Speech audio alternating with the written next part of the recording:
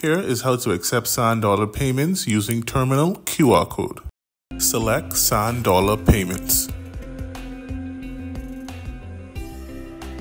The QR code will be displayed on the screen. Let the customer scan the QR code. The customer will select Sand Dollar card and follow the prompts for payment. The customer will scan the QR code.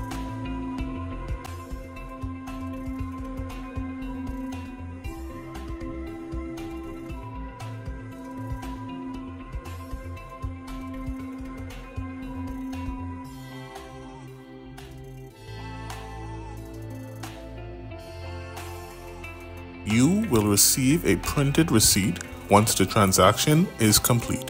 You have successfully accepted a Sand Dollar payment.